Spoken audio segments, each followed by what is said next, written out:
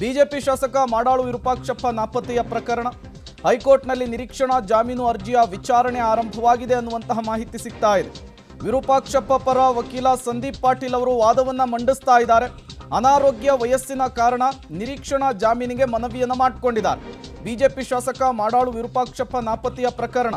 ಅವರ ಮಗ ಈಗಾಗಲೇ ಪ್ರಶಾಂತ್ ಮಾಡಾಳ್ ಲಾಕ್ ಆಗಿರುವಂತಹದ್ದು ಅವರನ್ನು ವಿಚಾರಣೆಯನ್ನು ಮಾಡಲಾಗ್ತಾ ಇದೆ. ಮತ್ತೊಂದು ಕಡೆ ಮಾಡಾಳು ವಿರೂಪಾಕ್ಷಪ್ಪ ಅವರು ಅವರು ನಾಪತ್ತೆಯಾಗಿ ಆರು ದಿನಗಳಾಗಿರುವಂತಹದ್ದು ಇಲ್ಲಿಯವರೆಗೂ ಕೂಡ ಪೊಲೀಸರು, ಲೋಕಾಯುಕ್ತ ಪೊಲೀಸರು ಅವರಿಗೆ ತೀವ್ರ ಹುಡುಕಾಟವನ್ನು ನಡೆಸ್ತಾ ಇದ್ದಾರೆ.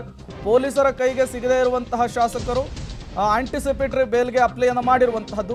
ಎಂಟು ಕೋಟಿ ಸೀಸ್ ಪ್ರಕರಣದಲ್ಲಿ ವಿರೂಪಾಕ್ಷಪ್ಪ ಮಾತ್ರ ಆ ವಿಚಾರಕ್ಕೆ ಸಂಬಂಧಪಟ್ಟಂತೆ ಒಂದಿಷ್ಟು ಬೆಳವಣಿಗೆಗಳು ಕೂಡ ಆಗ್ತಾ ಇದೆ.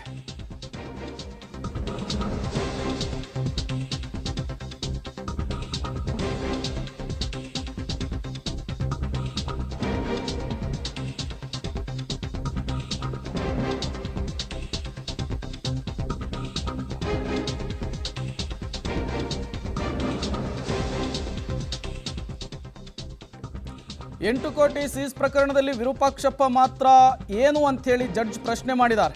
ಯಾವುದೇ ಪಾತ್ರ ಇಲ್ಲ ಅಂಥೇಳಿ ವಿರೂಪಾಕ್ಷಪ್ಪ ಪರ ವಕೀಲರು ಉತ್ತರವನ್ನು ಕೊಟ್ಟಿದ್ದಾರಂತೆ. ವಿರೂಪಾಕ್ಷಪ್ಪ ಪುತ್ರ ಹಣವನ್ನು ಪಡೆದಿದ್ದಾರೆ ಎಂಬ ಆರೋಪ ಇದೆ ಅಷ್ಟೇ ಅಂತ ಹೇಳಿದ್ದಾರೆ. ಜಲಮಂಡಳಿ ಅಧಿಕಾರಿ ಕೆ ಎಸ್ ಡಿಲ್ ಟೆಂಡರ್ ಹೇಗೆ ಕೊಡ್ತಾರೆ ಅನ್ನುವಂತಹ ಪ್ರಶ್ನೆ ಮಾಡಿದ್ದಾರೆ. ನ್ಯಾಯಮೂರ್ತಿಗಳು ಪರ ಮತ್ತು ವಿರುದ್ಧದ ವಾದ ಮಂಡನೆ ಆಗ್ತಾ ಇರುವಂತಹದ್ದು.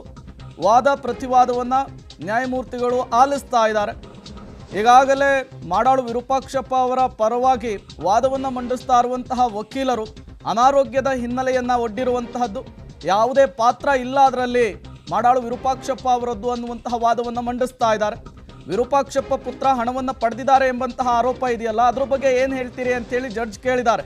ಅದಕ್ಕೆ ಉತ್ತರವನ್ನು ಕೂಡ ಕೊಟ್ಟಿರುವಂತಹದ್ದು ವಕೀಲರು, ಇಲ್ಲ, ಅದಕ್ಕೂ ಇದಕ್ಕೂ ಯಾವುದೇ ರೀತಿಯ ಸಂಬಂಧ ಇಲ್ಲ ಅನ್ನುವ ರೀತಿಯಲ್ಲಿ ವಾದವನ್ನು ಮಂಡಿಸ್ತಾ ಇರುವಂತಹದ್ದು. ವಾದ ವಾದ ಮತ್ತು ಪ್ರತಿವಾದವನ್ನು ಆಲಿಸಿ.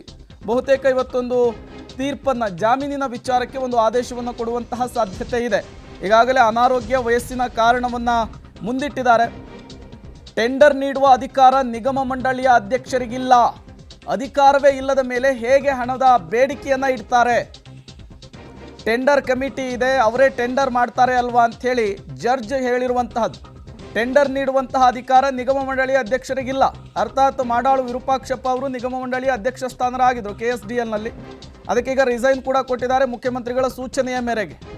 ಟೆಂಡರ್ ಕಮಿಟಿ ಇದೆ, ಅವರೇ ಟೆಂಡರನ್ನು ಕರೆಯೋದು ಎಲ್ಲವೂ ಕೂಡ ಪ್ರೋಸೆಸ್ ಅಲ್ಲಿಂದನೇ ಆಗಬೇಕು. ಟೆಂಡರ್ ನೀಡುವಂತಹ ಅಧಿಕಾರ ಇಲ್ಲ ಅನ್ನುವಂತಹ ಮಾತನ್ನು, ವಿಚಾರವನ್ನು ಸ್ವತಃ ಜಡ್ಜೆ ಪ್ರಸ್ತಾಪಿಸಿರುವಂತಹದ್ದು. ಯಾವ ವಿಚಾರದಲ್ಲಿ ಕೊನೆಗೆ ಜಾಮೀನು ಮಂಜೂರು ಆಗುತ್ತಾ ಇಲ್ವಾ ಅನ್ನೋದು ಈಗ ಸಾಕಷ್ಟು ಕುತೂಹಲವನ್ನು ಕೆರಳಿಸಿರುವಂತಹದ್ದು. ಅಧಿಕಾರವೇ ಇಲ್ಲದ ಮೇಲೆ ಹೇಗೆ ಹಣಕ್ಕೆ ಬೇಡಿಕೆ ಇಡ್ತಾರೆ ಅಂತ ಕೂಡ ಪ್ರಶ್ನೆಯನ್ನು ಮಾಡಿದ್ದಾರೆ. ಟೆಂಡರ್ ಕಮಿಟಿ ಇದೆ, ಅವರೇ ಟೆಂಡರನ್ನು ಮಾಡ್ತಾರೆ ಅಲ್ವಾ ಅಂಥೇಳಿ ಜಡ್ಜ್ ಪ್ರಶ್ನೆಯನ್ನು ಮಾಡಿರುವಂತಹದ್ದು. ಹಾಗಾಗಿ ಜಾಮೀನು ಸಿಗುವಂತಹ ಸಾಧ್ಯತೆ ಇದೆಯಾ ಇಲ್ವಾ ಅನ್ನೋದು ಇನ್ನೇನು ಕೆಲವೇ ಕೆಲವು ಕ್ಷಣಗಳಲ್ಲಿ ಗೊತ್ತಾಗಲಿದೆ. ಈಗ ಬಿಜೆಪಿ ಶಾಸಕ ಮಾಡಾಳು ವಿರೂಪಾಕ್ಷಪ್ಪ ಅವರಿಗೆ ಬಂಧನದ ಭೀತಿ ಎದುರಾಗಿದೆ. ಬಿಜೆಪಿ ಶಾಸಕ ಮಾಡಾಳು ವಿರೂಪಾಕ್ಷಪ್ಪ ಅವರು ನಾಪತ್ತೆ ಆಗಿದ್ದಾರೆ. ಮತ್ತೊಂದು ಕಡೆ ನಿರೀಕ್ಷಣಾ ಜಾಮೀನಿಗೆ ಅರ್ಜಿಯನ್ನು ಕೂಡ ಸಲ್ಲಿಕೆ ಮಾಡಿದರು. ಇವತ್ತು ಆ ಅರ್ಜಿ ಸಲ್ಲಿಕೆಯ ವಿಚಾರಣೆಯಾಗಿದೆ ಹೈಕೋರ್ಟ್ನಲ್ಲಿ ಇವತ್ತು ಮಾಡಾಳು ಜಮೀನು, ಜಾಮೀನು ಭವಿಷ್ಯ ನಿರ್ಧಾರವಾಗುತ್ತೆ. ಬಿ ಜೆ ಪಿ ಶಾಸಕ ಮಾಡಾಳು ವಿರೂಪಾಕ್ಷಪ್ಪ ಅವರು ನಾಪತ್ತೆಯಾಗಿ ಆರು ದಿನಗಳಾಗಿರುವಂತಹದ್ದು. ಹಾಗಾಗಿ ಸಹಜವಾಗಿಯೇ ಇವತ್ತು ಜಾಮೀನು ಭವಿಷ್ಯ ಏನಾಗುತ್ತೆ ಅನ್ನೋದರ ಆಧಾರದ ಮೇಲೆ ಅವರು ಏನು ಮಾಡ್ತಾರೆ ಅನ್ನೋದು ಗೊತ್ತಾಗುತ್ತೆ.